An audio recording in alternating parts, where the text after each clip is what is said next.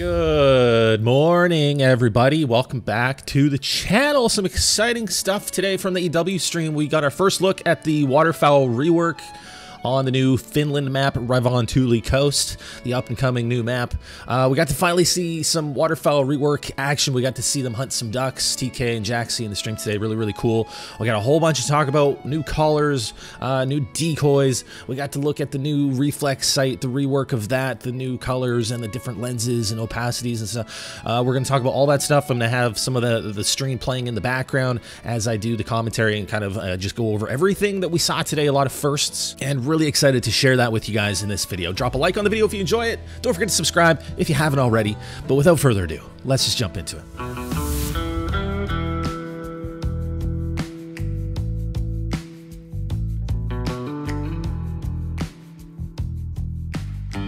So the first thing I want to talk about is just kind of what the waterfowl rework looked like to me. So we got to see the ducks flying around. They're obviously a lot faster now. They look a lot more realistic. The way that they fly, the way that they kind of fly together in their flocks, they kind of circle. Very realistic, very like much more like real life ducks uh, than they have been at any time in the past. It's really, really cool to see. They are a lot faster. Uh, they circle. We got to see the landing animations in the stream today. Uh, they look, it just looks incredible. Some of the sounds look really cool. That was something I noticed was the sounds when the ducks are land landing is really nice. The splash of the water. There's definitely some new sounds that I was able to pick out in the stream today. Uh, the water itself looks amazing with the new reflections and things like that. So we got to see um, the new ducks, just the animations. We got to see what they look like in the harvest screens. The harvest screens look really cool. They have changed the harvest screens a little bit. They're a little bit less transparent. You don't have to you don't have to necessarily look up into the sky when you're picking up an animal anymore to, to see it clearly. So that's really cool to see graphically and just what they look like. Amazing, amazing artwork.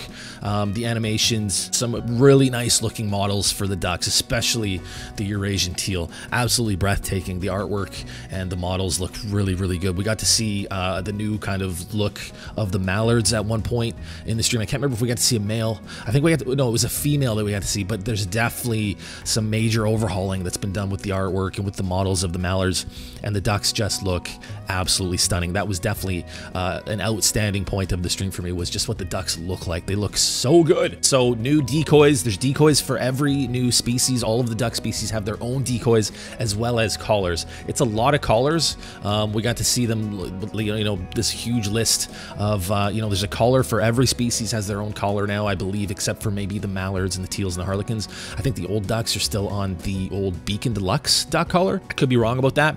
Um, but every duck has their own decoys. Uh, so a lot of you're gonna have a lot of callers if you're trying to go out and hunt geese and ducks. You might have like you know eight different callers on on you at one, any given time. So it might be I can see it being a little bit confusing at first, but like I think for me, what I'm gonna do if I'm going out hunting ducks, you know, take all five callers and uh, have them on their own hotkey and just do it the same way every time. And I think with time, you know, after you've gone out a few times, you'll start to remember what your hotkey was for for each each caller, or you can use the new wheel that's being implemented instead if uh, maybe if you're on controller, it might be easier to do it that way. So it looked a little bit confusing in the stream, but I think it's something that we'll get used to. It's cool that they have their own unique caller. They definitely could have consolidated them and maybe had, you know, multiple ducks with maybe just two or three new callers. But I, I think it's pretty cool. They all have their own look. They all looked really amazing and they have their own sound. And they sounded like some of the best callers that I've ever heard in Call of the Wild. So definitely no complaints uh, on that note for me. Um, another cool thing, we got to see the, the new float blinds. It looked really cool. They had one out, one out each for TK and for Jaxie. Very realistic. Um, definitely opportunity for pass shooting, which is something that I was hoping for with the, with the waterfowl rework. Pretty realistic, man. You can have one one person in, in one float blind, one person calling, one person shooting, and just calling a bunch of ducks. It looks like the ducks are all kind of random, which as far as on the map where they are, they had every species of duck up above them at, at once at one point in the stream. So pretty cool. They're not just all in their own section on the map. They can all be together. You don't really know what ducks are going to be there, what species are going to come in. So that was really cool. I really liked that. But yeah, you can have one person. You can do it with uh, with a friend and have one person calling, one person shooting, just like in real life. Uh, pass shooting is definitely going to be a thing. It's a lot harder to hit them uh, with the speed that they're flying at now, which I really like. It's definitely going to be a challenge, something that's uh, we're all going to have to get used to and start practicing. But super cool to see. It all looked uh, top notch.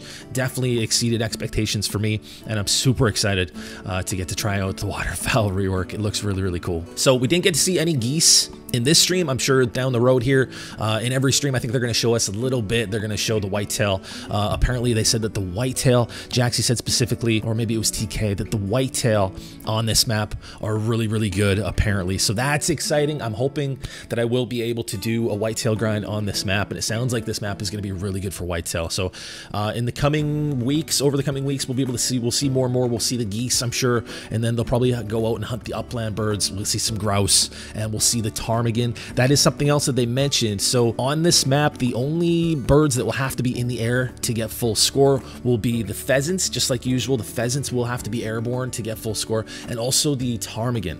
So the willow and the rock ptarmigan will have to be airborne as well as the pheasants to get full score. But every other every other bird, all the waterfowl and every other bird on the map, you'll be able to shoot on the ground and still get full score. But yeah, so hopefully we'll get to see some moose hunting and some whitetail. Hopefully we'll get to see some lynx hunting. Really, really curious about how, how the lynx hunting is going to be on this map. Hopefully we'll get to see that in a future stream. And I'm sure we will be able to see that.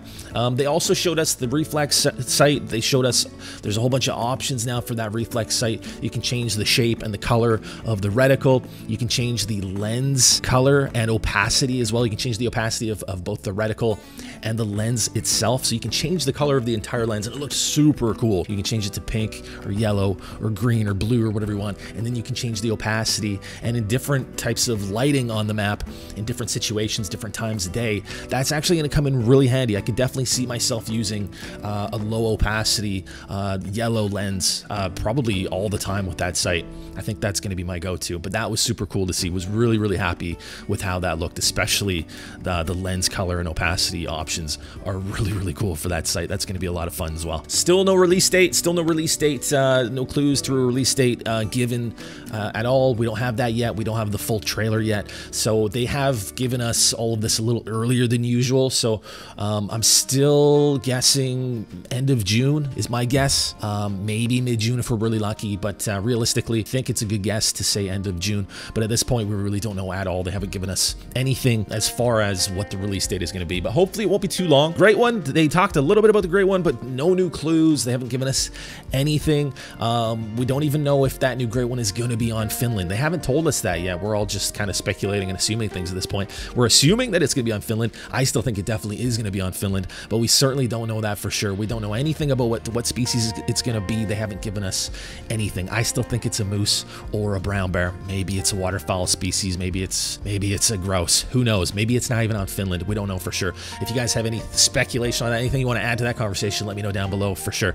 But yeah, how did you guys feel about the stream? I think that's everything that I wanted to go over. The waterfowl rework so far, uh, exceeding expectations for me. It looked amazing. What did you guys think? As far as whether or not ducks can still be found on water or on land, uh, it didn't look like it. I, I couldn't get uh, clarification on that. It looked to me like they have to be called out of the air. I don't know if we'll still be able to find them on the water or, or on land. That's something I was hoping for, but I haven't gotten any clarification on that. Based on what we saw in the stream, it looks like you do have to call them in. If you guys noticed anything about that, if there was something that I missed, let me know down in the comments. But from what I saw, it looks like they have to be called in out of the air and then break and then land. Uh, but I could be wrong on that. And I'm also curious to see if that's going to be a thing with the geese. I would love to be able to just find geese hanging out on the land at a need zone or on the water. But yeah, I don't have any clarification on that. I'm Not sure if that's going to be a thing. I'm hoping that it is. Not the end of the world if it isn't, but if you guys know anything about that, definitely let me know down in the comments. But yeah, that's pretty much it for me. I think I covered everything I wanted to cover. Really exciting stuff. I hope you guys enjoyed the stream. Hope you enjoyed this video. If you do, drop a like on it. Don't forget to do that. It helps so much. I really, really appreciate it. Comment down below if there's anything you want to add to the conversation. Subscribe to the channel if you haven't already. Thank you guys so much for watching. I appreciate you guys. And as always, I will see you guys in the next one.